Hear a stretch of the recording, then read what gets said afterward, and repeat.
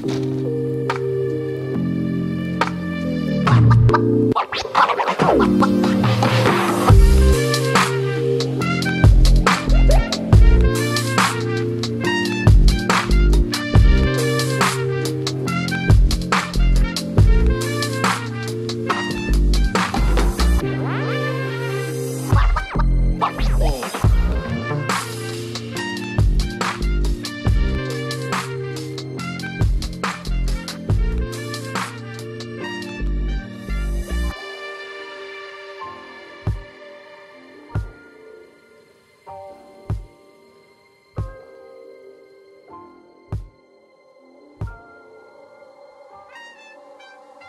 Hey guys, Old Man Sneaks here. Welcome to another close-up and on-feet sneaker review.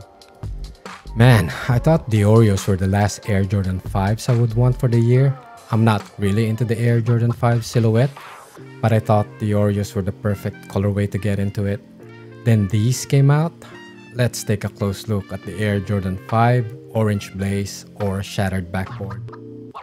You gotta have this in hand to appreciate it. I don't think the photos online are enough to judge these sneakers. Feels like high quality leather when you're holding it, or at least higher than the usual ones we get on any of the Air Jordan 1 releases.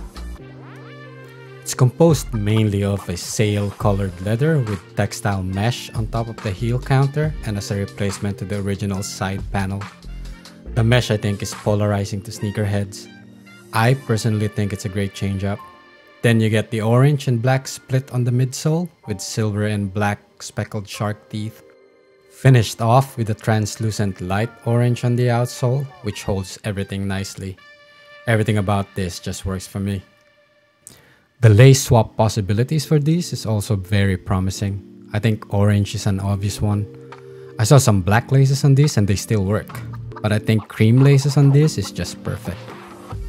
These overlapped with the Moonlight or Oreos release, I would have probably skipped the Oreos and went straight for this.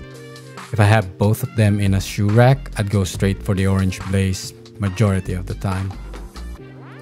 If you haven't already, please subscribe to my channel, like and comment on this video, and follow me on Instagram.